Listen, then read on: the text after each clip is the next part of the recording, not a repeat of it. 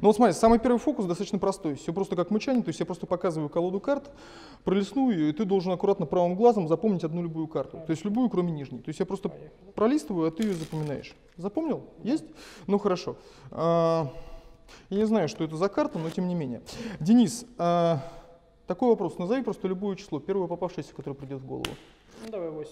8. То есть именно восьмерка. Да. Какая была карта? 9 буби. 9 буби. То есть смотри, колода карт лежит прямо тут. То есть можно было назвать любое число. Да, 8. А карта? 9 буби. То есть ты ее не трогал рукой, ты ее не называл. Мгм. То есть ты ее просто запомнил глазом. Да. 8. Поехали. Раз, два, три, четыре, пять, шесть. Это седьмая карта, и под ней восьмая и девять буби. Блин, прикольно. Давай сразу. Я тебя знаю, Мгм. многие тебя знают, но все-таки для тех, кто тебя не знает, ты можешь просто представиться и рассказать, кто ты, чем занимаешься и так далее. Что люди могут посмотреть, чтобы тебя узнать получше? Блин, ну сразу каверзные вопросы, я просто не особо люблю хвалиться. А, Хотя, ну, вообще профессия артиста, она сама по себе достаточно самолюбивая, и художника любого артиста можно, ну, может обидеть каждый. А, Я, меня зовут Дмитрий Чириков, я артист-иллюзионист, фокусник. А, Ну, так сложилось Волеем случая выиграл несколько конкурсов а, наших региональных, которые проводились э, в России. Несколько раз был членом жюри на наших конкурсах. А, ну, было несколько телепроектов, в которых я участвовал, снимался, то есть, ну, где-то чуть лучше, где-то чуть хуже. А, ну, всю свою жизнь занимаюсь только этим, то есть только фокусами, только иллюзией. И вот, ну, любое поприще, где бы я себя не пробовал, ну, к сожалению, мне получалось намного хуже, чем вот это. И так получилось то, что, ну, наверное, фокусы и вообще этот жанр, это я достаточно рано себя в этом нашел, и это именно то, ну, как бы та сфера деятельности, где у меня лучше всего работает голова. Ну, вот, я не знаю, вот, ну, чем бы я ни занимался, но вот лучше, чем вот как бы, я не знаю, вот в этой отрасли, то есть даже иногда вечером, когда там, скажем, ложишься спать или там, я не знаю, когда едешь за рулем, когда я катаюсь на велосипеде, когда, я не знаю, схожу по каким-то магазинам, то есть все равно так или иначе я подмечаю какие-то вещи и думаю, как бы это можно было бы использовать в магии. То есть элементарно я сажусь на велосипед, чтобы проехаться с другом, и обращаю внимание на то, как работают тормоза. И у меня сразу идет мысль, как это можно использовать, скажем, там, в каких-то гимиках. Э, Я захожу в обычный спортивный магазин, э, вижу какие-нибудь, я не знаю, там баллоны с газом, либо там еще что-то, и у меня сразу идет мысль, как это можно использовать. Э, Поэтому, к сожалению или к счастью, я достаточно быстро себя нашел в этом. А, Ну, есть какие-то вещи, над которыми как бы до сих пор продолжаю работать. А, Так получилось, то, что, ну, сам того, наверное, ну, не сильно хотя, я вошел в президиум Российской ассоциации иллюзионистов, и сейчас э, ну, занимаюсь еще как бы такой общественной работой, скажем так. Мгм. То есть иногда эта работа как бы чуть труднее, иногда чуть легче, но все равно это так или иначе связано с фокусами, мне это ужасно нравится. А, Я вижу определенные проблемы. Так, А, вот об этом мы с тобой об этом поговорим обязательно. Ну, собственно говоря, об этом вернемся. все, то есть это я так скромно, а тем, кому интересно, то есть если посмотреть э, на мою натуру, за моим творчеством, э, welcome на YouTube, я открыт для общения, если это вопросы не совсем глупые, то я всегда на них отвечу, то есть в соцсетях и прочее, то есть потому что иногда приходят очень забавные вопросы, Э, один парень у меня спрашивал, он пишет мне, слушай, Дим, посоветуй, какую свечу лучше покупать? Я сейчас нахожусь в магазине фокусов, есть исчезающие, есть появляющиеся. Э, Какая лучше? Э, Я пишу ему, бери красную. Вот. А это примерно точно такая же ситуация, которая происходит э, у меня. У меня спрашивают про колоды. Но когда люди спрашивают про дизайнерские колоды, как я могу показать, э, подсказать дизайн, да? Мгм. То есть это то, что человек должен выбрать сам, что ему нравится, Да, он то и да. должен взять. Но доходит до маразма. Какая колода лучше? Bicycle стандарт красная Мгм. или Bicycle стандарт синяя? Синий, ну, Как бы все понимают, что красная лучше, она ярче, но вопрос глупый, согласись. Нет, безусловно, конечно. Вот. А, К этому мы еще вернемся, касаемо глупых вопросов. Они будут в этом интервью обязательно. А, Но Давай.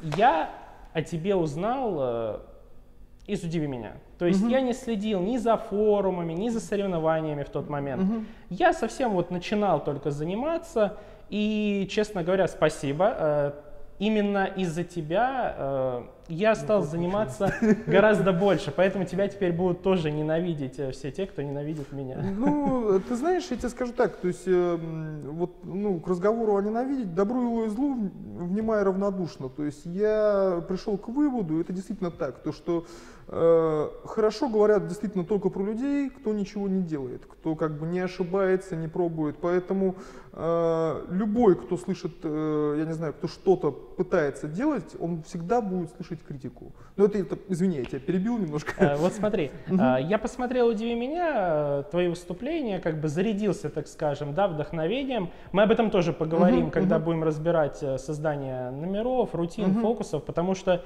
Э, меня привлекло именно связки. То есть я смотрю трюки, я их как бы видел, я их знаю. Но то, как они собраны, э, вот э, именно это дало мне что-то новое, так скажем. Ну, по-другому совсем посмотрел на карточные трюки, потому что я всегда именно любил карты и фокусы с картами.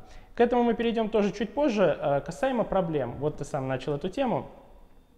Какие ты на данный момент видишь проблемы вообще в жанре, в сообществе фокусников? Вот расскажи именно свое мнение просто. Что можешь подметить ты? А, ты знаешь, если разговаривать на эту тему, я боюсь, то, что, ну, так, чтобы это развернуть, мне, наверное, часто не хватит. Но, а, понимаешь, у нас, а, вот если бы я бы знал бы, я бы лучше, наверное, подготовился, но, а, понимаешь, у нас нету очень много того, что есть на Западе. У нас есть корпоративный рынок, угу. и у нас есть как бы вот конгрессы, да, то есть они разные, то есть вот есть у Юры Сергеенко, есть у Саши Муратаева, есть как бы конгресс РАИ, а, там в Казахстане а, что-то устраивают. Я слышал то, что, по-моему, за Уралом, то ли на Урале сейчас тоже какой-то конгресс проводит, но не суть. А, понимаешь, то, что, на мой взгляд, у нас нету лекторов профессиональных.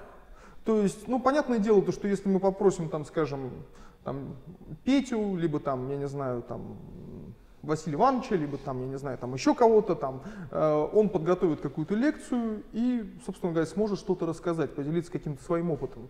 Но я вот при всем моем уважении к огромному количеству даже людей старшего поколения, я не вижу таких людей, как Генри Эванс, как лектор я имею в виду, mm-hmm. потому что это мощнейший лектор. А, я не вижу таких людей, как, эм, я не знаю, Левент, да, у которого целая философия, как mm-hmm. бы, вот он э, рассказывает, почему это делается так или иначе. У нас абсолютно отсутствуют профессиональные книги по фокусам, то есть это не просто как бы ну, не знаю, описание внешнего эффекта mm-hmm. и дальше секрет, а действительно, где как бы вот, ну, идет некий разбор, либо да, о том, что как бы описание каких-то своих личных рутин, либо каких-то своих личных наработок, и потом как бы вот как человек к этому пришел, этого нет вообще.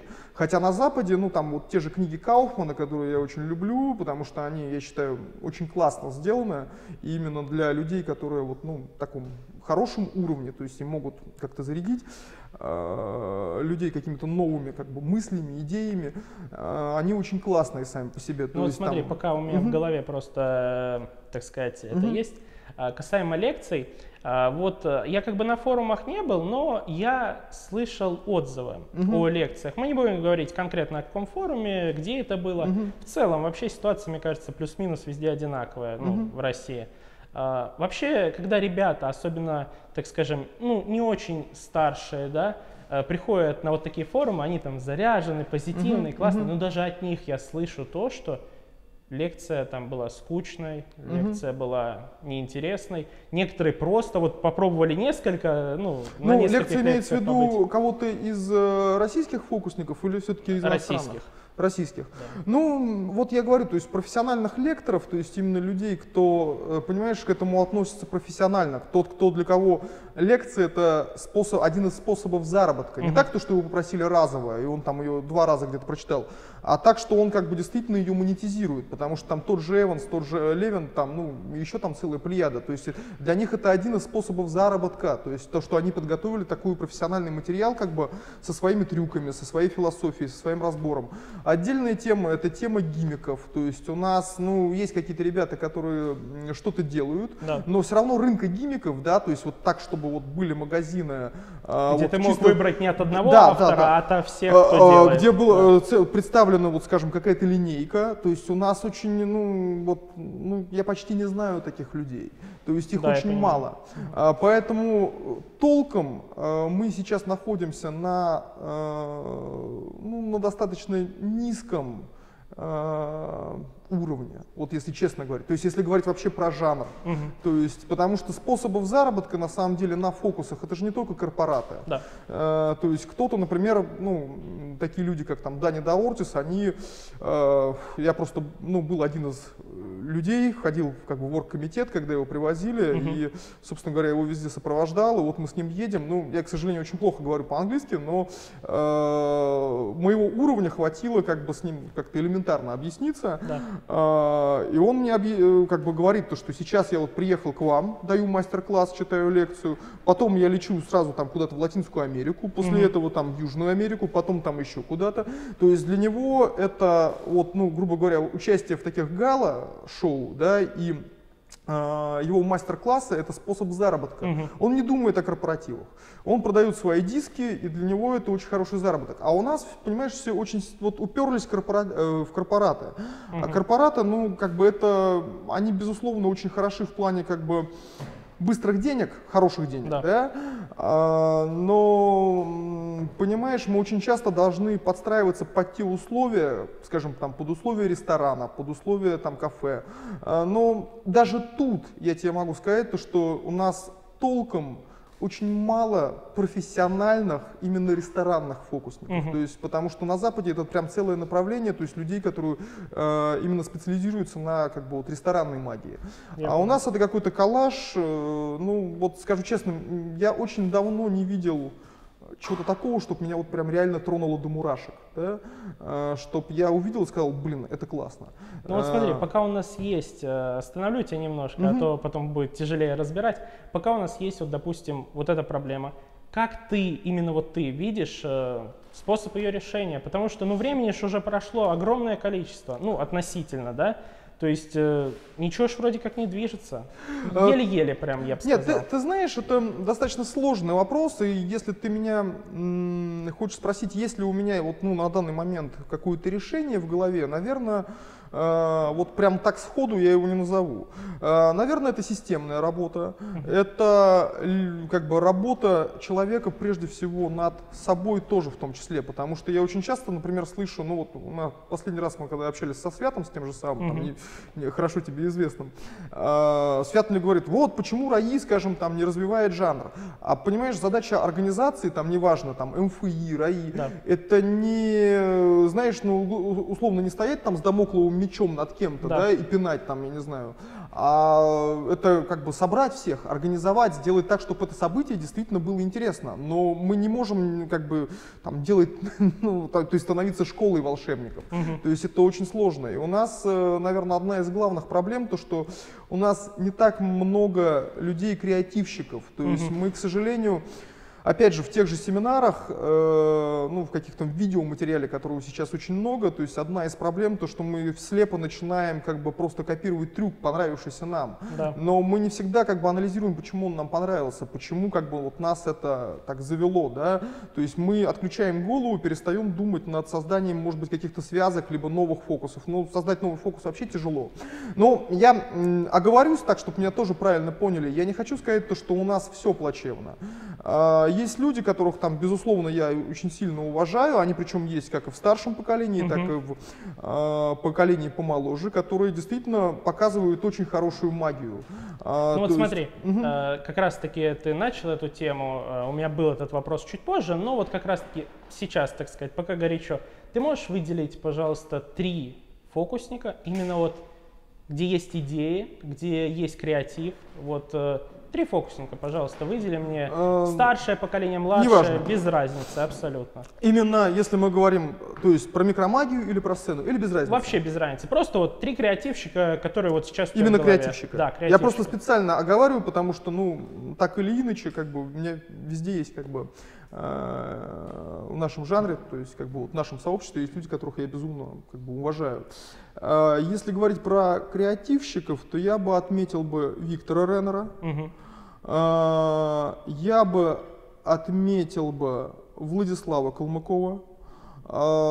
Я бы отметил бы Илью Ларионова. Угу. То есть это вот три человека, которые действительно, ну, я в принципе в их как бы работе в жанре, то есть в их каких-то связках, в их находках вижу, в принципе, ну, что-то интересное. Вот. Так, давай тогда еще немножко о проблемах, угу. э, пока мы, так скажем, в этой ветке. Касаемо секретов обучения. Угу. Сразу вот эту тему угу. закроем, обсудим, насколько это возможно ее да, закрыть. конечно, конечно. Э, как вообще, вот мне просто интересно твое мнение даже, в принципе, именно мне. Угу. Э, как мешают неважно, секреты или обучение, мы сейчас это объединим в одно, угу. хотя я так не считаю, но все-таки мы объединим это в одно, и как они мешают, неважно, на Ютубе, в ТикТоке, в Инстаграме, где угодно, mm. вот просто вот обучение в свободном доступе. Ты понимаешь, э, я тебе скажу так, на самом деле, вот если бы я бы лично бы с этим бы не столкнулся, может быть, я бы затруднился бы ответить сходу на этот вопрос. Но я как минимум дважды был свидетелем ну, правда, это работает, скажем так, с подростковой аудиторией. А, когда ты работаешь, э, показываешь, ну, условно, там, группе подростков какой-то трюк, да. они говорят, блин, а мы это знаем. Я понимаю. Причем, а, я тебе скажу так, э, что самое обидное, э, что трюки действительно, ну, если бы это было бы что-то такое, как бы вот, ну, малоинтересное. Вот это знаешь, это вот та мысль, которую, кстати говоря, в одном из последних интервью сказал Власов, когда мы с ним общались. Угу. Он говорит, есть такие трюки, которые как бы вот, ну, если знаешь, что, что условно там леска, да, то вот, ну, блин, как бы у тебя вот эта вещь не летала, ну, когда человек знает, да, то, что да. это летает на леске, то все, то есть эффект как бы, ну, пусть он вокруг дома там облетит, там, вокруг там человека. Да, я согласен. Но... А, поэтому, mm и, извини, я просто да, закончу да. мысль. Э, поэтому на самом деле я считаю то, что эм, само обучение для интересующихся, конечно, это плюс, но это должно быть как-то, может быть, в более каком-то закрытой группе, в закрытом сообществе. Это лично мое мнение, да. я никому не, никому не навязываю. Ну, мы это обсудим сейчас. А, но опять же, то есть я отношусь к тем людям, которые как бы к раскрытию секретов относятся очень э, тонко. То есть я э, за всю свою жизнь, могу сказать честно, ну вот так, чтобы вот на, на камеру что-то показать, рассказать, э, только один раз согрешил. То есть меня попросили условно там, ну, показать пар, пару каких-то простых фокусов для какого-то обучающего проекта. Да. Я помню там угу. рассказал, как завязать веревочку условно, там, как, я не знаю, там быстро узел завязать на веревочке. Ну то есть что-то такое, что не очень бы повредило. А, поэтому я, скажу честно, очень так ранимо к этому отношусь. Я понимаю. Ну вот смотри, а, мы возьмем еще вот э, про обучение. Угу. На самом деле, я понимаю, о чем ты говоришь, особенно, да, когда речь идет о показе подросткам, потому что они смотрят YouTube, они все равно натыкаются на это все, тем более иногда вот секреты каких-нибудь трюков наподобие там сам тип, да, то есть с пальцем, угу. э, с левитацией, ну, да. Нет, ну, это все попадается даже на огромных каналах, Биткоин, которые там, с фокусами вообще угу. не связаны, то есть абсолютно. Я понимаю. Но с другой стороны, мы вот это очень часто много с кем обсуждаем. Эм, иногда говорят, что я показал человеку фокус, а он потом завтра нашел его секрет. Э, каким образом человек э, может найти секрет вот, ну, какого-нибудь а, трюка? Я тебе скажу так, на самом деле не всегда можно найти секрет фокуса, а, если ты не знаешь, ну, на мой взгляд, то есть, может быть, я не прав, если ты не знаешь keywords. То есть, если ты не знаешь, что, что вот это там, условно, откусанная монетка называется да. там биткоин или там, да, не да, знаю, да. там Pen или еще что-то, Да. то ты, тебе сложно будет найти. А, хотя, ну, Не, тоже... ну, то- возможно то, то, найти. что, м, понимаешь, что это очень опасно, как бы вот, ну, как тебе сказать, одновременно и переоценивать раскрытие секретов. Да. Потому что я не так давно, мне нужно было найти один элемент, который ну, связан с, с неким контактным жонглированием. И Мгм. Оказалось то, что ну, семинаров по контактному жонглированию особо, ну, то есть огромное количество. Э, И понимаешь, может быть, я бы даже бы это оправдал, но э, дело в том, то, что все-таки контактное жонглирование это некий жонгляж, а вообще вся соль фокуса, то, что вот именно в секрете. То есть либо ты знаешь, либо не знаешь.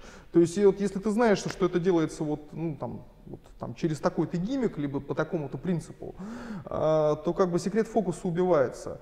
А, очень часто, очень часто, то есть когда, например, идет, ну если ты работаешь профессионально, а, то именно твои профессиональные навыки оцениваются именно то, что там не то, что ты вот там фокусник, который делает там линейку известных фокусов, а фокусник, который делает чудо.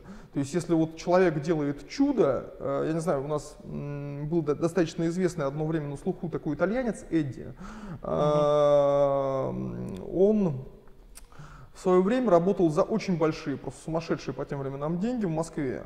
Э, Такой мега весь гламурный, крутой. Э, Если честно, работал, ну, как тебе сказать, ну, не то что некую дежурку, но фокусы не очень сложные даже по нынешним временам.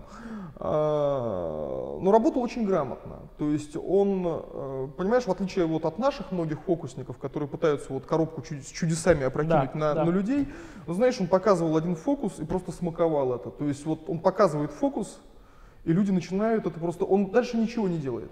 И дальше идет просто обсуждение его реакция. Он Мгм. может пойти попить шампанского, потом он возвращается там, чик-чик-чик, медленно там, согнул этот бокальчик.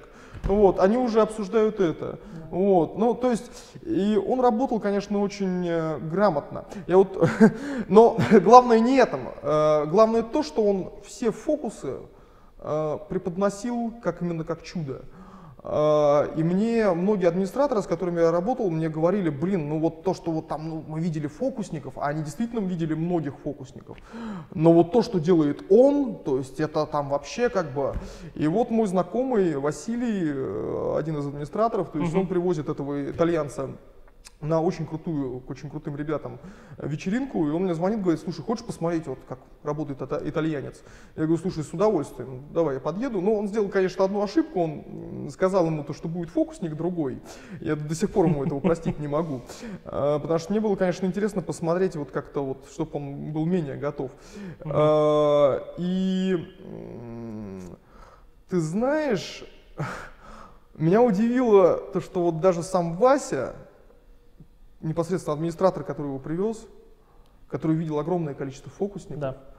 он искренне, как ребенок, верил, то, что это что-то, это чудеса. Я говорю, ну слушай, ну там, он, там ну как бы заряжен же, конечно. Он говорит, да он вот он, он в этом же костюме и приехал, он, он вообще не заряжен, он вообще вот Ну, чудеса вообще творит. зрители вот имеют же, да, такое свойство, то, что они абсолютно по-другому видят, не как ну, мы. да, да, да. Нет, ну тут, понимаешь, отчасти то, что в своем отечестве все-таки героев нету, то есть тут, конечно, немаловажный фактор играл то, что он итальянец, но э, факт в том, то, что действительно вот э, люди очень часто оценивают нас именно потому, что удивляем, не удивляем. Мгм. И если там условно администратор говорит, то, что ой, ты знаешь, он там делает такой-то фокус, там монетку откусывает, а ему в ответ говорят, а я, блин, это вчера посмотрел на ютубе, то это значит, то, что у заказчика просто не будет интереса к этому.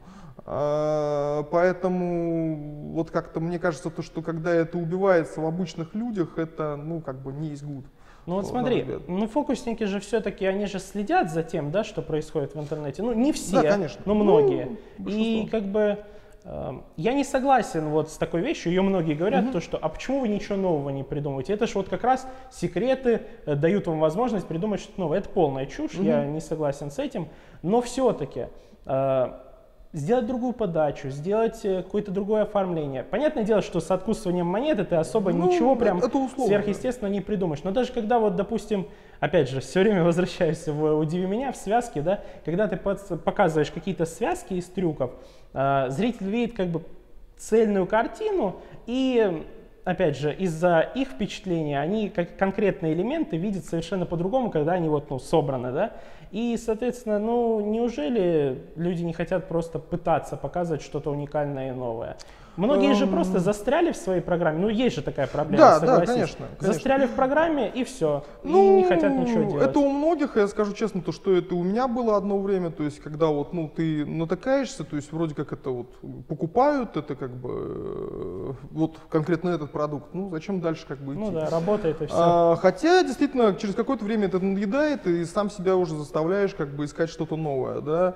А, да, наверное, может быть, это одна из таких как бы профессиональных деформаций, да, то есть об- отчасти вот почему я, а, ну, там, в плане денег, в плане работы, как бы, там, всеми руками и ногами, там, за корпоративы, я считаю, то, что у них ничего плохого нет, но если ты эм, как-то очень сильно застреваешь в корпоративной программе, то это огромный минус, то есть ты как бы вот э, в неких определенных рамках. То есть, это знаешь, как была такая история, я не- ну, это понятное дело, то, что это вымышленная история, конечно, Мгм. некая байка про мало, маленького тигренка, который э, взяли в зоопарк, и взяли, посадили его, ну, маленький тигренок посадили в маленькую клеточку. Мгм. Вот, но со временем как бы тигр рос, рос, рос, рос, а клетка не увеличивалась. Ну и директор зоопарка сказал, то, что давайте его переведем в новую как бы э, клетку побольше. Вот. А тигренок все равно, э, ну как тебе сказать, то есть привык Да, находиться, на находиться маленьком там, объеме да. и очень долго не мог выйти как бы вот за границу. Ну, поэтому я считаю, то, что это отчасти вот как бы такая есть проблема действительно у многих фокусников, это правда. Я тебе сейчас познакомлю с фокусом, который мне показал один француз. Мне он ужасно нравится. То есть четыре туза, то есть вариация на лифт. Первый, второй, третий, четвертый туз. То есть четвертого туза я убираю просто в середину колоды. Смотри внимательно. Поехали. И туз как бы просачивается сквозь всю колоду и оказывается сверху. То есть первая карта это туз. Туз крестей. Следующая карта, то есть помнишь, у нас туз бубей. То есть каждый раз, когда я убираю туза бубей, раз, два, три, и туз бубей у нас оказывается сверху. То есть следующая карта у нас уже помнишь, какая была? Э, Или не туз, помнишь? э, Червей. Ага. Да, ну то есть смотри, то есть раз, два, три, то есть карта действительно уже у нас верхняя. Хочешь сам попробовать? Ну, вот смотри, то есть у нас есть действительно туз пик, я его убираю. Ага. Просто прикоснись к верхней карте пальцем. Переверни верхнюю карту. О, Вот, видишь, пик. можно тебя попросить, просто подсними половину колоды. Просто подснимаешь, не, не сниму. я кладу его Ага. сюда. То есть опять ничего не делаем, просто прикоснись пальцем. Ну, Вот видишь, это опять А.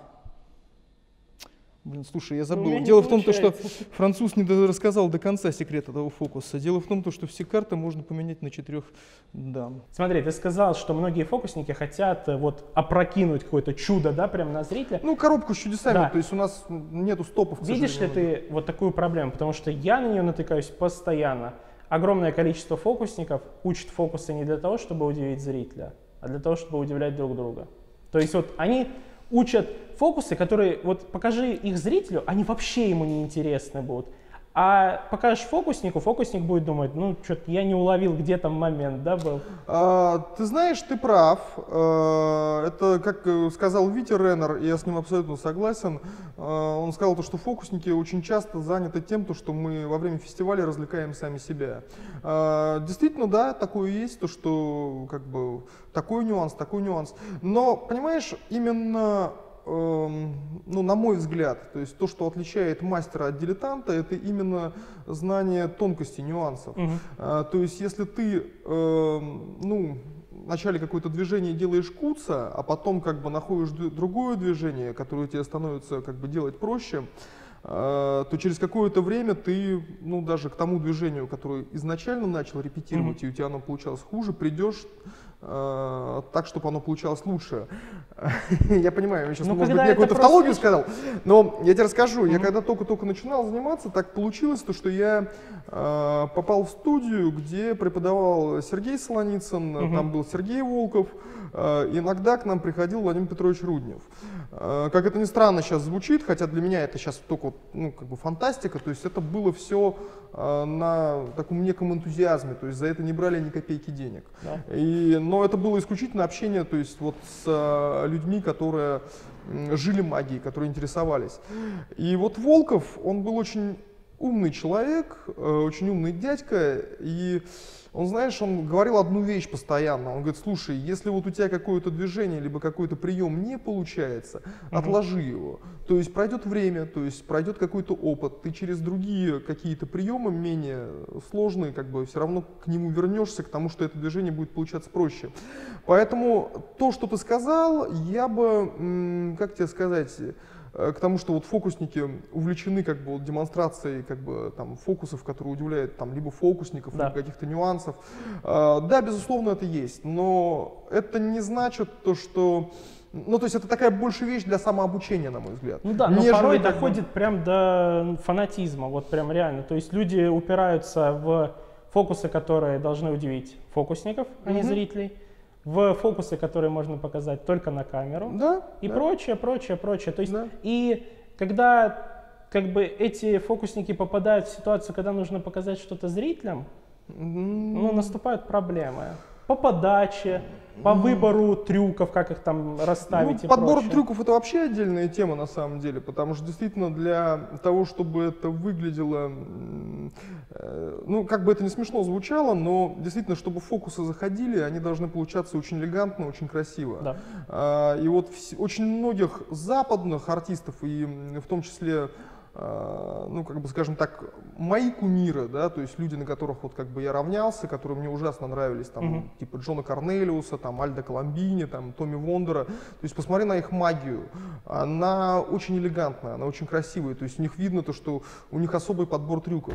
Я буквально позавчера абсолютно случайно наткнулся на раритетную запись э, Пендрагона. Э, ну, я так сохраню некую интригу, я не буду рассказывать, Хорошо. что он показывал, но э, он показывал микромажные фокусы. Угу. То есть Пендрагон, который всю жизнь был как бы иллюзионист. Да. И он выступал э, для президента Билла Клинтона, то есть это угу. такой зал, он показывал салонные фокусы. Блин, слушай, он показал три фокуса, но это было настолько красиво, настолько магично, настолько элегантно, и он ушел просто под стоящую овацию. То есть вот э, действительно мы должны как бы делать еще определенный отбор трюков. То есть вот если говорить про коммерческую работу, да. то есть ну, вот на обычных людей. Э, ну, хотя бытует такое мнение, то, что вообще плохих фокусов нет, хотя, на мой взгляд, это некое заблуждение. То есть, когда ты планируешь программу, как ты будешь зрителя как бы шокировать, то есть доводить вот до этого выступления, угу. э, это особая тактика. Я, знаешь, извини, я немножко сейчас э, возвращаясь вот к теме «Удиви меня», да. э, ты вот говорил про некие связки, про карты, я тебе скажу так, понимаешь, э, так сложилось, но это не моя была прихоть, как бы показывать только с картами. Да. Просто так получилось, то, что ну, может быть, ты помнишь, может нет, когда мы снимали вот этот первый эфир, там, когда у меня шарик улетал там с да, колечком, да, да. он, если честно, наверное, из всех э, съемок прошел хуже всего. Угу. Как это не смешно звучит. Э, и, блин, знаешь, я такой расстроенный, что-то приехал, э, ну, вот в этот офис, и был Митя Муравьев, это человек, который потом снимал все вот эти вот, э, он на тот момент работал, ну, удиви меня, ну, я, если честно, даже не знаю, чем он толком занимался, он там uh-huh. то ли помогал, э, но потом Митя Муравьев стал снимать все клипы Ленинграда, вот эти топовые, там, на Лабутенах и прочее, прочее. И вот мы сидели вместе с Митей Муравьевым, он говорит, слушай, ну покажи чего-нибудь. И я ему стал показывать фокус с картами. И и тут я вижу то, что у парня просто у него загорелись глаза. То есть я вижу то, что у него так... И он пошел вдруг кого-то привел, еще кого-то. Э, он говорит, слушай, вот сейчас посмотри. И заходит, э, по-моему, Аня Пармас, это вот непосредственно uh-huh. режиссер всего «Удиви меня». Она говорит, слушай, э, я, короче, все поняла, то есть все вот эти колечки, все вот это вот ботва, это вообще не твое, короче, мы с тебя делаем вот чисто, то есть ты будешь только с картами. Uh-huh. А, и понимаешь, в этом была некий, эм, ну, лично для меня была некая такая авантюра. То есть я был не уверен, то, что, во-первых, на картах я смогу долго пройти. Да. Но так как у меня была постоянная работа, я мог себе позволить, э, ну, в перерыве между съемками э, попробовать один и тот же фокус обкатать, там, угу. я не знаю, на 40 разных компаний, на 50 разных компаний, то я как бы даже фокус, если я его до этого не показывал, э, как бы на ну, в момент съемки выходил уже полностью подготовленным. Как не, это не смешно звучит, то есть вот этот эфир с маленькими картами, когда одна колода была меньше, угу. потом больше, э, мне очень нравилась рутина, которую делал Василий Игоревич Руденко. Э, я у него попросил э, разрешения, то есть я у него спросил разрешения, я говорю, можно я чуть-чуть поменяю там кое-что, буквально угу. там один элементик, э, и покажу ее. И он мне разрешил. И скажу честно, это не был тот фокус, который я показывал все время. Угу. Но вот буквально три раза я показал эту историю, ну, три, имеется в виду, вот, как бы, три рабочих дня у меня было на постоянной работе, то есть вот нескольким, многим компаниям я показывал uh-huh. в течение этого времени, набил руку на этом фокусе, и, блин, когда вышел эфир, а, мне очень многие писали то, что ну, вот то, что ты там делал с ловкостью рук до этого, там, там какая-то вот карта там по номеру, это все фигня, угу. вот именно вот эти вот карты, которые то больше, то меньше становились, как бы вот это да. И, и я, понимаешь, я потом стал это переоценивать, то есть как бы произошла переоценка, то есть я, для меня это было, знаешь, вот ну как бы некая такая, э, некий такой элемент, чтобы пройти дальше. Потому что я, если честно, уже во многом прогнозировал, я знал, что буду показывать на финал. Uh-huh. И до смешного доходило, то есть мне даже, по-моему, Дами, то ли Коля Фомушин, то ли э, Дамир Гудвин, они uh-huh. мне написали, то, что, знаешь, э, ну, типа финал, да, там как бы это все чудесно, но все-таки вот эфир с маленькими картами, тебе, ну, вот чего тебе надо было показывать на финал, то есть вот это было самое лучшее. Ну вот, кстати, вот этот вот э, трюк с маленькими картами, я видел, грубо говоря, какие-то составные элементы до этого, uh-huh но я, по-моему, даже до сих пор не понимаю, как он делается именно Это целиком. Хорошо. То есть именно вот, если смотреть от начала и до конца, я не понимаю некоторые моменты, и вот это и прям, да, удивляло. А, я тебе скажу так, на самом деле, если говорить конкретно про карточные фокусы, э, я выявил для себя несколько ну, закономерностей. Я могу вообще долго на эту тему говорить, но... У нас еще будет блок про рутины, про создание, а, про фокусы, ну, да. Так не, что... я просто если говорить да, конкретно да. про карточные трюки, понимаешь, э, во-первых, если мы говорим про телевидение, то есть телесъемку, ну и не только, угу.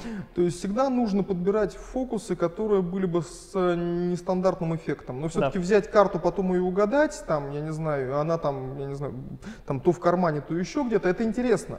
Но эффект должен быть, я не знаю, нестандартный. То есть, я не знаю, вот перекрас рубашки, как бы, это нестандартный эффект. Да. Когда карта, там, я не знаю, э, ну, достаточно простой трюк, но он всегда убивает. Когда там с этой стороны э, две карты, да, да, тут рубашки. лицо, да, тут, значит, да, рубашка, он всегда убивает, он нестандартный. Да дырочка, который ездит по карте, э, там, блин, он нестандартный. Автограф, который перелетает с карту на карту, он всегда убивает.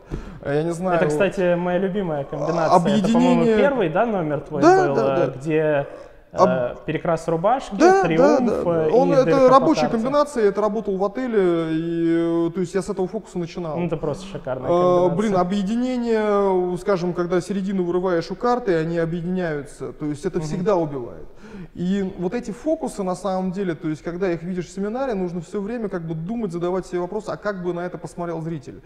А если фокусы идут рутинные, я стараюсь очень часто подыскивать фокусы с двойным финалом, угу. либо с тройным финалом. То есть есть такие, то есть когда не просто там, скажем, я не знаю, там карта превратилась, а одновременно там поменялась вся колода. Да. То есть должно идти как бы нарастание эффекта, то есть от меньшего к большему. То есть так, чтобы э, была сразу одновременно, ну то есть зритель как бы не мог оценить, э, что произошло до этого, его тут же убивал финал. Да. То есть, если ты вспомнишь, это не моя рутина, скажу честно, но у нее масса вариантов. То есть, вот Джошуа Джей предложил вариант смены колоды по, по тому же принципу, и господи, Ник Эйнхорм, один из моих любимых uh-huh. фокусников.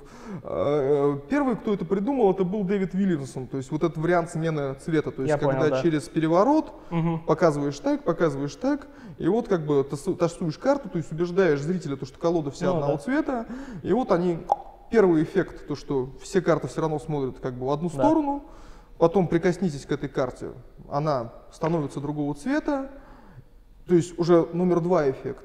Но когда колода перекрашивается, да. то есть это всегда убивает. Ну, да. То есть это и вот, кстати, просто вот, настолько грамотный трюк на самом деле. Вот сам ход трюка, он поражает просто. И сознание. мне нравится то, что для того, чтобы тебе показать изначально, что колода одного цвета не используется, знаешь, ну вот эти вот, ну все мы знаем эти приемы. Mm-hmm а именно прием с перемешиванием, типа да? рубашка в лицо. И это прям максимально убеждает простого зрителя, как мне э, кажется. Ты знаешь, я не очень хорошо владею английским, но угу. когда я первый раз посмотрел у Вильямсона этот трюк, этот трюк Дэвида Вильямсона, он даже, по-моему, говорил, что это тот фокус, которым он сумел обмануть Дая Вернона. То есть э, Дая Вернона, который ну, там, на, триу, на теме триумфа там, собаку съел. То да. есть он, там, у него целые исследования в его книгах относительно триумфов. А, ну, как-то так. Смотри. Извини, у меня очень долгая тирада была про да карту. Ничего, ничего. Я, я просто ждал, когда можно наконец это. Ну вот смотри, я тебе покажу фокус, которым обычно финалю. То есть вот если идет ресторанная работа, то есть каким фокусом завершить? То есть, естественно, таким, чтобы он всегда запомнился. То есть у меня есть две колоды карт. Одна с красными рубашками, и одна, немножко забегая вот так вперед, есть колода с синими рубашками. Ну, mm-hmm. я так на всякий случай для обманки положил в красную коробочку. Хорошо. Но вот до самого последнего момента мы не будем смотреть, что это за карты. Uh, у меня к тебе будет просьба. Просто я сейчас, все карты разные, да? Да, да. Мне нужно, чтобы ты сейчас просто показал пальцем вслепую, на любую одну карту. Хорошо. Какая тебе нравится? Давай вот это. Вот это? Да. Или это? Давай вот это. Вот, да, вот это. Блин, слушай, теперь фокус не получится, Денис. а, ты знаешь, давай, я же попросил, чтобы это было вслепую, найдем ее. Давай. Ну-ка. А, дама бубен. Дама бубен. А, вот хочешь верь, хочешь не верь, но действительно в этой колоде есть только одна единственная карта, которую я заранее в синей колоде перевернул. Так. И это, естественно, дама бубей. А, может, ты все-таки другую хотел, да? Ну да, я сначала выбрал. Может, я как раз десятку сначала выбрал. Ну, я на самом деле это будет мое самое первое сегодня предсказание. То есть на этой десятке червей так и написано, то, что вы не выберете эту карту. Вот конкретно десятку червей не выберете. Знаете почему? Денис, я объясню. Дело в том, что вся эта колода является моим предсказанием. Но вот этот фокус всегда убивает вот во время ресторанной работы. Смотри, э, еще вырвем один момент из твоего, так скажем, разговора. Я люблю по ходу додумывать, так скажем, вопросы. Угу. Вот смотри, э, ты попросил разрешения на трюк с э, маленькими, маленькими картами, картами да? да? А как вообще с этим обстоят дела? Может, ты просто знаешь, я внутриков не знаю, но э, я думаю, и ты, э, и я прекрасно понимаем, что очень многие фокусы, рутины в этих шоу Угу. Они, так скажем, ну, если посмотреть западное шоу, можно найти очень, так скажем, большое сходство. А ты знаешь, я тебе скажу так. Э, я, э, может быть, сейчас, если бы я бы участвовал, мне бы было бы психологически, наверное, сложнее бы участвовать. Да. А, какие-то вещи, ну, я тебе скажу честно, какие-то фокусы я даже не знал, как делаются. То есть я до них доходил сам, и мне просто как бы нравился сам этот эффект. Mm-hmm. Вот, ну, я скажу честно, то есть до того, как у Шона Фуркуа, э, скажем так, э, вот эта карта, я уж не помню, я сейчас просто давно не делал, но как вот эта вот карта оказалась карта запечатанной в пачке между, да. там, скажем, двумя королями, либо там между там какими-то картами. Там, ну, по порядку прямо да, в нужной но, локации. Да. да, да, да, то есть там, скажем, называют, по-моему, какую-то карту, там, скажем, семерку крестей, и она оказывается именно между пятеркой, да, э, да. между там, если семерка, там, между шестеркой и восьмеркой. Восьмерка, да. А, то есть, если честно, как это делается, я дошел шел сам. То есть я не видел ни семинар, угу. ничего. И я, блин, если честно, потом оказалось, что именно по, по этому самому принципу и делается. Угу. А, к чему я вел? На самом деле я считаю, то, что, ну это не только мое мнение, то есть если какие-то фокусы, а, описаны а, либо раскрыты в семинарах, то как угу. бы, ну вот там, я не знаю, вот эта врезка Вильямсона, да, то есть он рассказывает о ней в своем семинаре. Да а, трюк там с перелетом дырки, да, вот этот Hollow, Hollow да. а, он описан, э, точнее, он, он продается. То есть я считаю, то, что ничего в этом э, как бы такого постыдного, зазорного нету. А, я всегда против того, чтобы снимать вообще прям а ну, то есть не вот просто под копирку. Ну, то шутки, есть, вставки, Если ты все, хоть да? как-то скомбинировал, да. донес хоть какую-то, ну, я не знаю, краску, то есть угу. хоть какую-то даже даже в порядке бреда что-то предложил, но это уже намного как бы интереснее в плане творчества и э, в плане всего. То есть я против того, чтобы вот слизывать под копирку. И, угу. к сожалению, были ребята, которые, ну, действительно, они как бы в тех рутинах, которые делали, они, по сути, копировали каких-то великих. Да. Но опять же, понимаешь, все-таки там было в основном такое молодое поколение, и мне на тот момент было 26 лет, то есть это было почти 9 лет назад, да. мне сейчас 35. Э, и я считаю то, что ну, любой начинающий фокусник все равно так или иначе он идет по стопам повторения великих, да? угу. то есть э, чтобы что-то создать свое, либо к чему-то прийти к своему какому-то лицу, то есть нужно как бы повторять кого-то.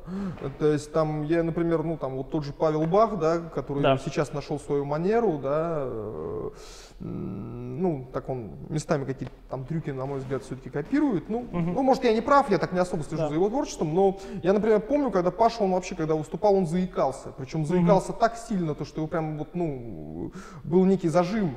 Вот. И э, действительно виден огромный прогресс, то, что сейчас он даже там лекции читает какие-то. Да. Вот. То есть он большой молодец в этом плане. Поэтому нельзя вот прям так вот говорить, то, что вот, ну там что-то творишь. То есть я против того, чтобы, знаешь, вот прям очень сильно бить по рукам. Угу. То есть наставлять как-то, давать советы, безусловно, нужно. А, то есть чтобы была, велась какая-то работа, поиск над собой. Но вот э, обижать, скажем так, вот говорить то, что это все полное говно, то, что ты делаешь, и вообще ты там, я не знаю, плагиатчик, э, это очень, особенно вот, ну, как бы молодым людям, э, ну, очень надо мягче, на мой взгляд. То есть э, плохо когда плагиат едет на конкурс, то есть на какой-то серьезный да. конкурс. А когда это, понимаешь, ну вот ты показал там условно в такой неформальной обстановке, там в клубе, либо там, ну, какую-то просто миниатюру, э, ну, как бы какую-то сценку, да, зарисовку. Угу. То есть тут нужно как-то подойти, просто сказать, старик, ты немножко не на том пути, то есть вот попробуй поискать. Так что это как бы такая долгая планомерная работа. Понял. А, смотри, я вообще не очень хочу говорить о форумах, честно говоря. Я не хочу превращать да, это в трансляцию со Святым и Чириковым, но все-таки. А у меня есть один вот такой вопрос, который мучает меня, можно сказать. Я до этого на форумах не был. А, мы сейчас возьмем Москву-Питер, да, а, РАИ, МФИ, соответственно, для тех, кто не знает, может быть. А, и вот представим такую ситуацию. Мы сейчас пофантазируем, да. Я хочу поехать на форум, но могу я поехать только на один форум. Ты как представитель РАИ, вот скажи, почему я, допустим, должен поехать именно к вам? Помимо того, что мы теперь с тобой общаемся, и я захочу с тобой увидеться. Нет, смотри, а, тут как бы, как тебе сказать, э, ну, ты меня сейчас ставишь как бы немножко в позицию человека, который должен прям рекламировать, да? Нет, то есть говорить, нет, вот приедь именно к нам. А, тут нужно понимать то, что у всех есть свои плюсы и минусы. Структура организационная РАИ и структура того же МФИ немножко разная. Я очень давно, к сожалению, не был там конкретно вот на МФИ, то есть я последний раз, по-моему, был в 2015 году. Э, многое э, слышу по отзывам. Э, я слышал то, что вот, ну, с Харари был не очень форум, а такой, ну, по, по отзыву, опять же, то есть я, тут нет как бы какой-то вот моей, я не знаю, ангажированности, да. Угу. Остальные, от остальных форумов все были в восторге, то есть очень много э, как бы положительных отзывов. А если говорить конкретно про РАИ, тут надо понимать то, что э, может быть в зале, да, то есть в антураже, мы проигрываем. Угу. Мы существуем не на какие-то коммерческие деньги, да, то есть мы существуем на членские взносы. Я а, Поэтому членские взносы тысяча рублей. Что сейчас такое тысяча рублей? Да я, я извиняюсь, я на каршеринг, чтобы сюда доехать, сегодня потратил больше. А, то есть, что можно требовать за эту тысячу рублей? А что народ получает? А все равно наибольшее количество э, гостей, которые приезжали нам, это были чемпионы мира. Ленард Грин, Марко Берон, э, Рон Макмиллана выиграл, господи, Виторио Беллони, э, Эванс тот же самый, э, из последних-то, э, Хорот Ву, ну, то есть огромное количество. Э, и чего греха таить, то есть форумы, они, ну, как бы ну, скажем так, создаются для того, чтобы мы научились, вынесли что-то новое, посмотрели на что-то новое. То есть это такая некая ярмарка достижений действительно народного хозяйства, вот что произошло там в жанре, там, скажем, за год или ну, там, за какое-то время. Э, то есть какой был конкурс. То есть у нас, к сожалению, я считаю, то, что в России очень, вот, вне зависимости от формы, там МФИ, РАИ, там, я не знаю, вот у Юры Сергенко, то есть у нас очень слабая конкурсная часть. Uh-huh. Бывают отдельные личности, отдельные люди, которые выступают действительно, ну, так, топчик на уровне. Как, да. да, там uh-huh. Ступаков, там Владик Савенков, там, я не знаю, там Ильин, Гладштейн, э, там Артем Щукин. То есть есть люди, которые действительно тянут, да. Э, но у нас, к сожалению, действительно конкурсная часть оставляет желать лучшего. Если говорить опять же про то, ну, там, про достоинство РАИ, да, э, все-таки хотим мы этого или нет, ну, как бы у РАИ есть определенная, ну, как это сказать, ну, ну, семейственность, что ли. Но ну, семейственность я имею в виду в том, что как-то это сообщество, которое уже существует больше 30 лет. А, чемпионы мира они все были, ну, там, Иван Нечапаренко, там, Владимир Данилин, там, Шакуров, да, то есть они все были как бы членами этой организации. Uh-huh. И понимаешь, вот так вот огульно хаять, говорить то, что там, скажем, вот то, что там делают старики, это там условно там никому сейчас не нужно, это как бы там ну, брахло, да, или там дерьмо какое-то, это очень недальновидная, очень глупая позиция, на мой взгляд. А, надо учиться у старшего поколения и у молодого поколения, потому что э, у молодого поколения тоже есть чему поучиться. Э, поэтому я скажу честно, я очень сейчас болезненно, ну как бы читаю какие-то посты там на том же Фейсбуке, когда там старшее поколение говорит, а вот там вот молодые, там они ни черта там толком не знают, ничего не умеют и прочее.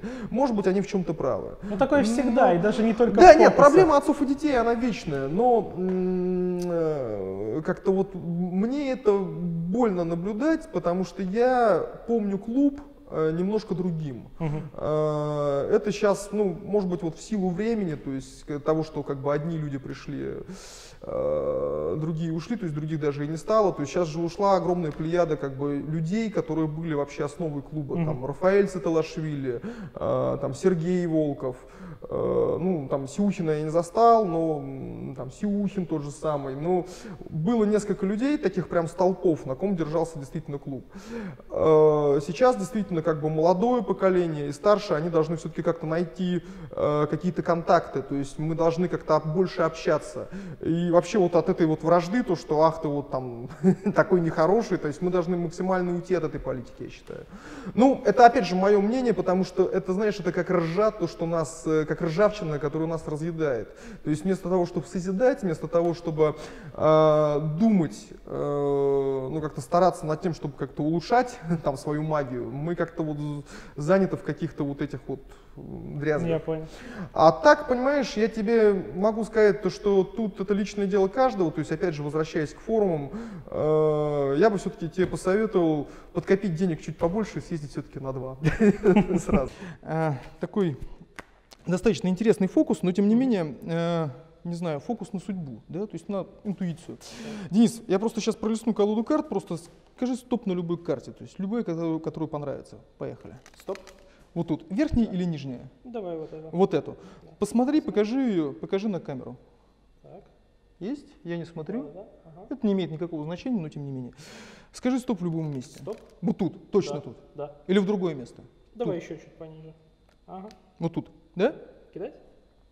Я просто возьму колоду карт, перетасую. Вот смотри, эту колоду карт я разложу на 6 пачек. Не очень удачный стол у нас, но тем не менее. То есть на каждую карту я кладу по еще одной. И так 6 раз. То есть до самого финала. Но самое интересное то, что в этом трюке твою карту сейчас буду искать не я, а твою карту сейчас будешь искать ты. Вот, а, у меня осталось 4 карты, на 6 не делится. Скажи, пожалуйста, тут есть твоя карта? Нет. Нету. Да? А, давай соберем. Ну, просто отложу. Любая пачка, какая тебе нравится? Любая. Давай вот это. Вот это. Ты хорошо подумал? Да. То есть все-таки это? Да. Ну хорошо. Давай подсоберем. Смотри, у тебя есть последний шанс. Все-таки так это или это? Вот это. Блин, 100%. слушай, никак не, не собьешь с пути. Вот смотри, вот эту пачку я разобью еще на 6 карт. Остается 2. Тут есть твоя карта? Нету, да? Круг сужается. Так, Денис, любая карта, какая тебе нравится? Любая карта? Да? Вот это. Слушай, точно это, да? Точно, сто процентов. Денис, громко вслух назови, пожалуйста, какая была твоя Десятка карта? пик. Десятка. Пиковая. Да. Десятка. Да. То есть вот это. Я не понял ни хера. Спасибо. А, Ты знаешь, на самом деле было несколько идей, которые я хотел внести именно в этом году в плане РАИ, А, то есть в плане конкурса РАИ. А, То есть, во-первых, у меня была ну, одно, одно из предложений, то есть сделать определенный как бы инстаграм-конкурс, точнее не инстаграм-конкурс, YouTube конкурс на лучшее освещение мероприятия. То есть я готов был даже потратить на это Я видел, э, э, выделил- даже выделил денежный вот эту, да. э, приз. А, не- это, понимаешь, это же не, не- ну, не то, что это какая-то агитка, да, то есть это не какая-то там пропаганда, там, там вот, езжайте к нам на, РАИ, нет. То есть действительно, чтобы это было, чтобы показать то, что там РАИ это все-таки большая семья, где есть и молодое поколение, и среднее, и старшее, и все друг друга уважают. То есть э, второе, понимаешь, мне хотелось провести, у нас очень часто проводят конкурс, эм, точнее не конкурс, гала-шоу, скажем, сценическое, но я очень давно не помню, чтобы у нас было гала-шоу по микромагии. То есть я договорился с э, разными людьми, э, которые у нас очень хороши в микромагии, чтобы мы провели гала-шоу по микромагии. А, К сожалению, то есть мы проводим все-таки это в Цедри, потому что это такое историческое, так сложилось, то, что это наше такое как бы историческое помещение.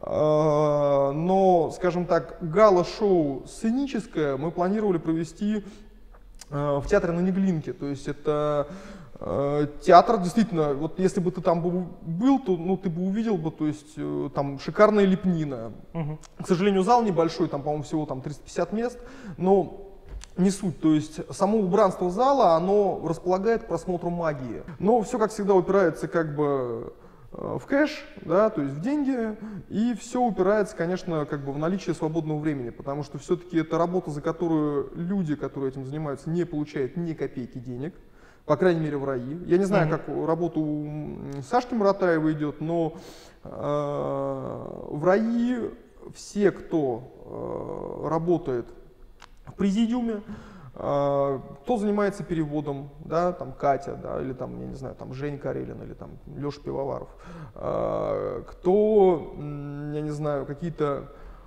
волонтеры, э, президент, там, вице-президент, помощники. То есть мы э, занимаемся этим, потому что мы это любим. А, То есть мы за это не имеем никакой финансовой выгоды. Поэтому мы этим занимаемся, конечно, в свободное от работы времени.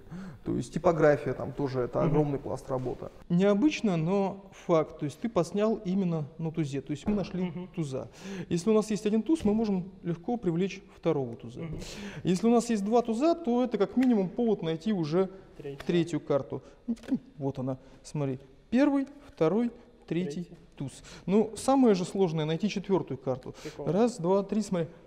Немножко магии. Так.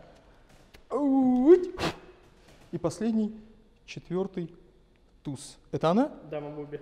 Слушай, она сегодня нас преследует. Ты знаешь, я совсем забыл. Дело в том, что тузы отсюда уже исчезли. Почему? Потому что все четыре карты есть тузы. Все говорят, что вот все плохо в медиасфере, только обучалки, секреты, в общем, только тот материал, который как бы мешает, да? М, Как ты думаешь, почему вместо того, чтобы жаловаться, никто не пытается принести что-то альтернативное? Да, есть Саша Муратаев, который э, выпускает там шоу, да, вот сейчас там начал выпускать. Э, Есть э, Илюха Ларионов, который очень крутую штуку выпустил. Вот там, ну, я смотрел его проекты, реакция, фактор вау, классно, прикольно, стильно. Э, Но больше как-то никто и не хочет зайти, потому что это же тоже, вот, медиапространство, это тоже Да, очень да, важная часть сообщества.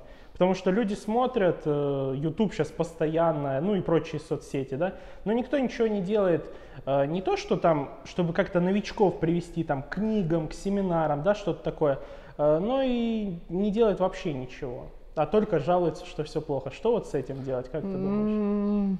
Есть такая проблема? А, почему люди жалуются, да? Почему как бы люди... Ну, они жалуются, но при этом ничего не предлагают взамен. Ну, я, как тебе сказать, просто у каждого свое поле, которое он спахивает. Э, есть нас, ну, я не думаю. На самом деле есть люди, которые действительно для жанра сделали очень много, и, конечно, их э, критика имеет место быть. То есть, я скажу честно, я всегда с огромным уважением относился к людям, у которых есть своя позиция. А, то есть я могу не соглашаться с этой позицией, то есть быть сам не согласен. Но если человек занимает какую-то позицию, и он в ней уверен, то есть для меня это всегда достойно уважения. Поэтому, когда я, например, там читаю, ну, скажем, а, критику со стороны там, ну, там, не знаю, там, того же Влада Калмыкова или там Влада Кривоногова, да, угу. то я, в принципе, ну, с чем-то я согласен, с чем-то я не согласен. А, хотя чаще я согласен, а, но это люди имеют право на критику, я считаю. Есть люди, кто действительно ничего не делает, и только хайт говорит то, что все неправильно, то есть вот там то, то, как вы там делаете, скажем, там, или то, что сейчас делается, там это типа, ну как бы плохо. Да, только вот. мешает и да, только мешает и прочее. жанр, я вот это да, да, да, да, да. А, вот, поэтому, ну, а потом надо понимать, что все-таки, к сожалению, русский человек, он немножко ленив. Вот, то есть то, что у нас огромное количество фокусников и молодых ребят все-таки ленятся э, как бы выходить за рамки вот этой какой-то корпоративной работы. Mm-hmm. То есть есть, конечно, исключения, там вот Гладштейн, Ильин, там, ну еще вот несколько ребят, там Саш Плотников, безусловно, там с э, Володя Полищук, э, там Володя Григорьев, э, Саша Земченков, да, то есть, ну, э, последние двое это как бы вот ребята, которые микромагией больше как бы занимаются, развивают ее. А, поэтому, как тебе сказать, на самом деле не так все печально. Вот как бы моя мысль. Но опять же, то есть я всегда фильтрую, как бы от кого я слышу критику, да, либо там по какому вопросу я слышу критику от каких-то людей, э, и очень часто я прислушиваюсь. Вот, то есть если это, там, скажем, меня касается, да. А если говорить за жанр, то понимаешь, это такие иногда очень как тебе сказать, беспочвенные разговоры. То есть, mm-hmm. если говорить про то, чтобы развивать жанр, тут нужно как бы, э, чтобы ты понимал, каким то путем хочешь двигаться. То есть, там, создавать номер, создавать шоу. Но все-таки это немножко разные вещи. Да. Да? А, то есть, э, если ты только-только начинающий, то все равно на одном только ютубе уйти очень тяжело. То есть, я застал время, когда, ну, я очень часто про это говорю, когда вообще все обучение проходило, там, скажем, по посредством там, каких-то вырезок из журналов и книг. Да? То есть я помню 95 год, когда я сидел в школьной библиотеке и листал журнал науки, «Наука и жизнь» или там «Юный техник», которые у нас были, и искал какие-то фокусы оттуда. YouTube это все замечательно, то есть, но он раскрывает только маленькую толику. Да? Uh, то есть э, подача, да? то есть почему там некоторые фокусы Ларионова, да, э, ну скажем так, они просты, да, то есть там, например, то, что он показывал да, в факторе понимаю, вау, да. но он это подает настолько вкусно, настолько элегантно, да. то что это становится смотрибельно, и ты по-другому это воспринимаешь. А, поэтому, как тебе сказать, у всего всегда есть своя изнанка. И вот я всем рекомендую, то есть если ты хочешь обучаться магии и все-таки выйти на какой-то определенный уровень, то есть заниматься как бы не ну, скажем, не по низам, все-таки искать учителя, то есть искать, искать какого-то человека более опытного. Это не значит, то, что это будет прям гуру-гуру, но это какой-то человек, который более опытный, который может тебе дать первые советы профессиональные. Ну, в принципе, это же, кстати, решает э, большинство проблем, которые есть, когда ты учишься по видео. Э, я, допустим, рассказываю что-то, человек видит, и у него не получается какой-то момент, с которым и мы тоже сталкивались, когда пробовали это делать, когда только учились. И в видео об этом ничего не сказано. Даже в хорошем семинаре такое может быть, что mm-hmm. человек э, не упомянул какую-то вещь, вот, с которой практически все сталкиваются, да? когда учат. Да. А, а учитель, он как бы видит, прям сидит перед тобой и может, да, помочь. Тут да, согласен, да, да, это прям вообще А потом, вещь. я тебе скажу честно, то есть мы иногда, э, понимаешь, очень полезно, опять же, если у тебя трюк, скажем, не идет, либо ты работаешь над новым трюком, который тебе еще не знаком, и тебе только предстоит его, э, ну, скажем так, обкатать, да, э, понимаешь, мы иногда видео вот увидели, так, как там, ага, то есть вот, ну, мы поняли механику, но э, как делает вот, ну, многие представители старшего поколения, то есть они какой-то вообще эффект делят дробят на маленькие кусочки, то есть каждое, каждое движение. То есть они, по сути, каждое ну, движение, каждый какой-то элемент, они, то есть, дробят на очень маленькие куски. И когда ты понимаешь, то есть, вот там, понял, как делается вот этот маленький кусочек, потом следующий, потом вот этот, у тебя как бы полностью э, ну, уже складывается определенная картина, как действовать. Поэтому я считаю, то, что лучше всего обучаться и как-то вот развиваться, двигать жанр, там, я не знаю, искать, то есть не только говорить, но э, все-таки объединяться в какие-то небольшие группы, э, там, скажем, по три, по четыре человека, и устраивать некие мозговые штурмы, либо как mm-hmm. можно больше показывать. И тоже могу дать, вот, ну, опять же, совет, через который я прошел сам, то есть меня часто спрашивают, вот, э, ну, потому что у меня это тоже было, то есть как вот избавиться от волнения во время показа, да, то есть э, как избавиться от того, чтобы у тебя руки не дрожали, потому что я, например, когда устроился на постоянную работу, э, я когда показывал отдельные фокусы, у меня дрожали руки. Э, это убивается только опытом. То есть только вот чем больше ты показываешь своим, в кругу своих друзей, э, я не знаю, незнакомым людям, тем лучше. То есть вот покажешь, там, я не знаю, 10 раз, там, все равно будешь волноваться. Покажешь 50 раз, тоже будешь, но уже меньше.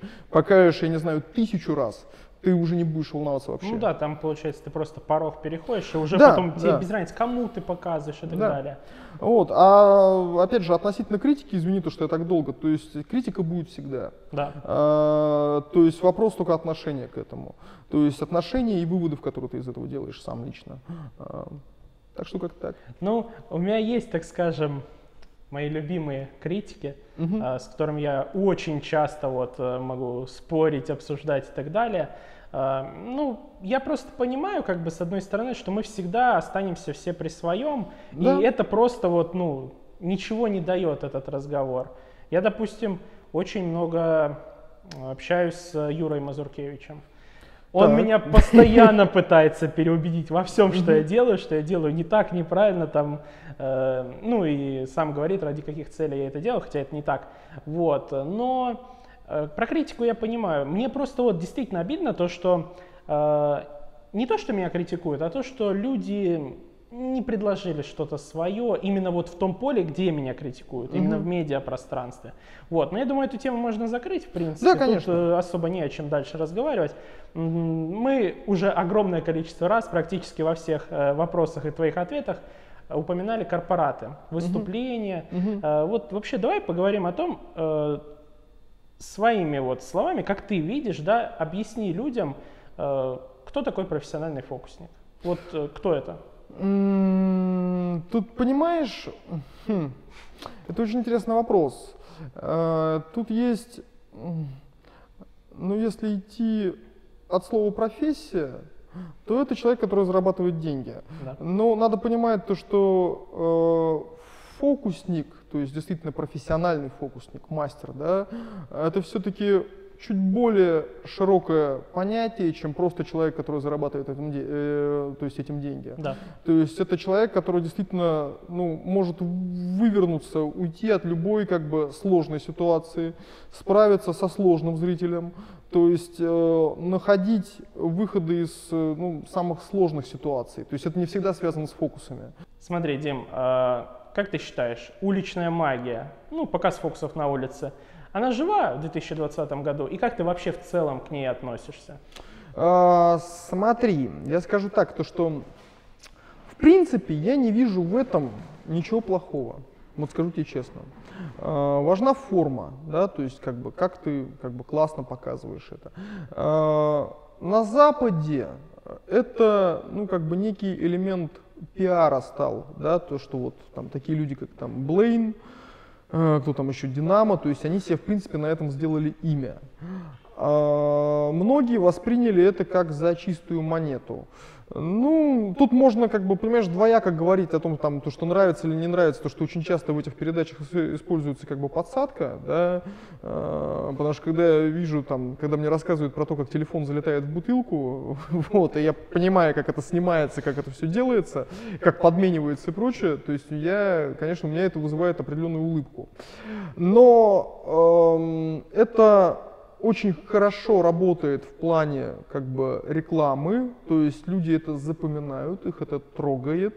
Э, кстати говоря, тоже я, ну понимаешь, вот к вопросу подсадки, то есть многие же шоу Копперфилда и многие трюки с Копперфилда сделаны реально с подсадкой, это видно. Uh-huh. А, особенно там более поздние его шоу. Кстати говоря, тоже вот, ну, к вопросу Копперфилда, я не хочу как-то умалять его достоинство, он действительно очень талантливый, э, ну, как бы мужик, да, uh-huh. безусловно, как бы талантище, но, понимаешь, я вот совсем недавно пересматривал шоу там того же Дага Хеннинга, которое было снято там черт знает когда, там еще в 70-х годах. И прям картинка начинается с того, то, что он едет по ночному городу на мотоцикле и приезжает, значит, вот в какой-то, ну, в, этот, в театр свой на этот мотоцикл, и потом у него этот мотоцикл исчезает. И я прекрасно понимаю то, что просто Копперфилд это, ну, либо купил, либо взял, но как бы по, по части саму вот эту телевизионную картинку в этом шоу, где он едет на мотоцикле, один в один слезал у Дага Хеннинга. Поэтому, в принципе, как бы, ну, Копперфилд тоже не святой, я вот к чему.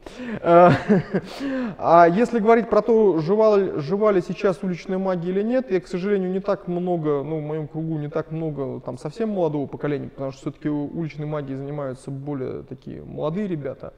А, и мне, кстати говоря, даже немножко странно, когда, ну, скажем так, э, на улицу идут какие-то такие представители более старшего поколения. Ну, в, в этом нет ничего, я, я, я не осуждаю, в этом нет ничего плохого, то есть, как бы, но все-таки я считаю, то, что уличная магия это больше так э, для ребят, которым нужно поднабраться опыта и э, как-то вот, ну... Но это как раз-таки же идеальный вариант для начинающих да, вот, попрактиковаться. Да, да. То есть да. огромное количество людей на улице. Показывая не хочу, будут соглашаться, это вот, ну как, как тренажер. Ну, так, нет, в этом ничего плохого наверное. нет. Очень многие, ну я скажем так, я особо уличной магией никогда так не занимался. У меня, кстати, когда-то, ну, может быть, пару раз году так это к 2004-2005 э, Сергей Солоницын подбил э, выйти на Арбат и показывать фокусы на Арбате. Тогда Арбат, конечно, намного ну, как бы, отличался от того Арбата, который сейчас. То есть он был такой людный, прям такая э, улица, где постоянно как бы всякие э, ну как сказать, уличные музыканты, ну, уличные да, какие-то да. поэты что-то рассказывали. И вот мы абсолютно спокойно встали, э, поставили столик, вот, не милиционеров, никого, то есть не вызвало никаких вопросов. И вот мы стояли, показывали фокусы, и Сергей Сланицын показывал, и я, то есть мы просто отдыхали и очень классно провели время. А сейчас вот, ну, я не могу ничего сказать относительно того, живо, живы ли это сейчас или нет, потому что очень мало в моем кругу кто реально стритует. Вот, но огромное количество ребят, там и, Илюха Ларионов, и Саша Магу, и, по-моему, даже Андрюха Лаптев, э, они очень любят стритовать, э, по крайней мере, раньше они этим занимались, э, то есть они с этого начинали, и я помню, как даже вот Илья Ларионов, там всем известный, ну, ну как бы вот большому кругу фокусников, мы когда с ним только-только познакомились, это была первая или вторая наверное, наша встреча, то есть он вышел из метро, вот, достал сигарету, и она у него полетала, и собрал какое-то даже количество людей, то есть они так сразу сразу там, что это, что это, то есть так ему было интересно. А касательно денежного аспекта, когда фокусники, неважно, начинающие, не начинающие, но это в основном проблема начинающих, э, когда они начинают э, просить деньги за показ на улице. На улице? Да. А, Неважно знаешь... в какой форме, в мягкой, угу. не в мягкой, в наглой, не в наглой. Вот а, я тебе скажу так, я, да нет, я нормально к этому отношусь, но просто тут вопрос опять же формы, как я говорил. То есть там э, я считаю, то, что для нашего менталитета, конкретно русского человека, конечно, это немножко ну, так тяжело воспринимается публикой. То есть, скажем так, заработать на этом как бы очень тяжело. Хотя Витя Реннер, который работает там, ну, в Бремени, в Германии, то есть он стоит на э, такой туристическом, насколько я понимаю, вот в каком-то месте, да, где много туристов, и он, в принципе, насколько я знаю, зарабатывает очень неплохо. А, но мне кажется, то, что это больше так вот как бы для такого западного менталитета, чем для Ну, у нас нашего. скорее баловство, типа, заработать Да, да, да, то есть это, знаешь, это как мне э, прихожу домой, мне отец рассказывает, о, слушай, я сегодня фокусника видел, а у меня отец, он кандидат физико-математических наук, ну, может, даже не кандидат, я уже даже не знаю, там, Мгм. до- доцент или не доцент, или профессор, скажу честно, я не, не очень знаю его звания, но э, он и преподает, и у него технические работы, я думаю, блин, где же он фокусника ты видел, в институте, что ли? Э, Вот, я говорю, а, а где ты фокусника? Да я сегодня вот в метро ехал, короче, за- зашел какой-то парень с кольцами стал показывать. И говорю, слушай, пап, это городской сумасшедший. Это не фокусник. Ну. Так что так. Итак, Блиц. Да. Дэвид Блейн или Дэвид Копперфильд? Дэвид Копперфилд. Хорошо. Чего не хватает современному фокуснику?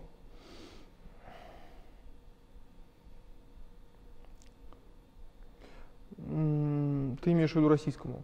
Или Да. вообще? Давай российскому. А, Ты знаешь, я считаю, что денег. Да нет, на самом деле, э, если говорить серьезно, то действительно очень многие обленились и стали склонны к отдыханству. То есть я э, считаю то, что многим ну, как бы пришло время, когда действительно надо перестать отдыхать и можно как бы блеснуть на полную. А, У нас огромное количество действительно талантливых людей. А, Я многих сегодня даже называл, то есть я горжусь то, что знаю многих из них. Это и Володя Полищук, и, там, и Григорьев, и Земченков, и Артем Щукин, и Ильин, и Гладштейн, и Ларионов, и, э, ну вот, как бы, и, безусловно, конечно, Илюха Рагулин, а, и э, Лаптев, безусловно. Э, Это вот я сейчас перечисляю как бы либо своих сверстников, либо молодых ребят совсем. А, Из старшего поколения тоже, безусловно, огромное количество, то есть там целая плеяда действительно выдающихся у нас есть фокусников, там и Витя Реннер, и э, Вадик Калмыков, и Василий Игоревич Руденко, и Ступаков, и, ну, действительно, у нас есть кем гордиться, но есть и другие ребята, кто действительно мы э, хотели бы тоже их увидеть, да. Э, Поэтому я считаю, то, что действительно главная проблема многих фокусников, то, что мы немножко на корпоратах подобленились. Вот. Э, По сути, корпораты погубили э, ну, жажду к таланту. То есть не, не к таланту, а жажду к развитию. Я понял. Назови мне три лучших микромага за всю историю человечества. Неважно, Россия, не Россия, э, сейчас они с нами, не с нами, без разницы. Просто Мгм. вот кого хочешь А, ты знаешь, ну, на самом деле можно выделить очень многих. То есть тут же, опять же, можно дробить там карточная магия или просто микромагия. Но вот люди, которые мои кумиры, они, к сожалению, все уже умерли, то есть или были моими кумирами прям очень долгое время. То есть это Томми Уандер, а, который написал две чудеснейших книги, да, А, это Джон Корнелиус и, безусловно, я могу выделить эм, Альдо Коломбини. А, Ну, конечно, из современных, если говорить, там, может быть, это вот номер Латимера, а, я считаю, то, что вот с этими прозрачными кубками это шедевр. А, Ну, безусловно, Эрик Чен. А, Ну, я думаю, то, что, наверное, если говорить про карты, это можно выделить, ну, безусловно, конечно, Гри- Грин, Даортис и Эванс. Ну а если мы возьмем сцену, тоже троих, А, ты знаешь, сцену, я тебе скажу так, то есть мне нравится очень Нестор Хато, а, это француз, мне нравится очень а, до сих пор, несмотря на то, что прошло уже огромное количество времени, это номер Топаза. А, Мне очень нравится Минимура, то есть вообще я считаю, то, что Минимуру надо вот э, то, как он, его зарядкам, его, то, как он избавляется от зарядок, то есть это на самом деле, э, ну, может это очень высокопарно звучит, но тут действительно должен прям работать, наверное, целый институт, потому, потому что э, это надо вот прям смотреть пошагово, то есть у него каждая секунда его времени, он что-то делает. Он либо заряжается, либо разряжается. Я один раз просто попробовал почитать, сколько он делает эффектов. Ну, там и фокусов, и эффектов, там, включая там различные вспышки там, в течение 7-минутного номера. Я, по-моему, то ли на 80-м, то ли там на 75-м просто сбился. То есть это чувак, который просто, то есть у него постоянно он вот, э, делает. Наверное, вот эти. Вот смотри, я сейчас разверну колоду карт веером, просто останови меня на любой карте. То есть первая попавшаяся, которая понравится, то есть это не та карта, которую мы запомним, это будет некая карта маяк. Потом я тебе объясню, что к чему. Стоп. Вот тут, да? да. Я эту карту просто переверну, вот так вот ставлю в колоду. Угу. Да? А, не имеет значения, что это за карта, это будет так называемая ключевая карта. Так. А, или магичная карта. Окей. Вот смотри, у меня к тебе просьба, просто подсними где-то одну треть колоды. Одну треть. Вот так. Отлично. Подсними еще где-то половину. Не-не-не, вот это. Да. Угу. А, да, да, да, да, смелее. Ага. Ну смотри, у нас три пачки. Так. То есть самое интересное то, что я все время буду на твоих глазах как бы эти карты тасовать, угу. да? Так. Можно тебя попросить, просто возьми одну любую карту. Вот эту? Да, просто бери, запоминай ее. Так, камеру ее? Да, покажи ее на камеру, я не смотрю. Денис, вот смотри. Так. Просто клади эту карту сюда, и этой пачкой я накрываю. Угу. Обрати внимание на то, что я не делаю никакого контроля, никаких так, брейков, да, как, как любят говорить фокусники. Все. Просто подсними в любом месте колоду. Вот тут. Отлично. Вот смотри. Все по-честному? Да. Подсними еще раз в любом месте колоду. Вот здесь. Ну, замечательно. Смотри, будем еще подснимать? Давай еще разок. Да, пожалуйста, в любом месте. Хочешь, можно 5 карт подснять, можно одну, можно две, то есть любое угу. количество. То есть вот смотри, что мы имеем? То есть мы имеем абсолютно перетасованную колоду. То есть мы до этого делили пачки. Я тасовал каждую пачку. Так. Ты выбрал карту. Ты ее помнишь? Да. Самое удивительное бывает потом в конце, когда мы не можем вспомнить карту. Я разделю эти две половинки 50 на 50. Да? Ну, здесь сейчас на всякий случай сверил. Я с каждой половинки буду синхронно снимать по одной карте. Так. Ровно до того самого момента, пока мы не дойдем до нашего ключевика, до нашей восьмерки, которую мы перевернули в самом начале. Mm-hmm. То есть я говорил, что это волшебная карта, потому что именно она укажет нам местоположение твоей карты. Я могу сам посмотреть? Да, какая была? Да, 10 червей. Совпадает. Да. Ты знаешь, самое удивительное то, что 10 червей не просто, точнее при помощи этой восьмерки мы не просто нашли десятку червей твою карту, мы собрали четырех тузов. Но самое удивительное не это. Самое удивительное то, что действительно, помимо не, всего не, прочего, не, не, не, не, мы разобрали не, всю не. колоду по мастям, точнее по цветам. Под черным тузом все черные карты, под вторым черным тузом все черные карты, под красным тузом, соответственно, все красные карты. И под этим красным тузом, соответственно, тоже все красные карты. И всю колоду мы все время тасовали. Это сам я подснимал. Спасибо, Денис. Спасибо тебе. Ну и давай напоследок Просто вот совет от тебя тем людям, которые будут смотреть это интервью. Это будут фокусники, может даже не фокусники, начинающие, не начинающие. Просто совет. А, ты знаешь, наверное, мой главный совет к тому, чтобы вы должны стремиться к тому, чтобы у вас не было слабых мест. А, вы должны быть готовы ко всему. А, вы должны все время самообучаться. Это раз. Вы должны по-разному просчитывать ситуацию. И вы должны действительно фанатеть от того, что ты делаешь.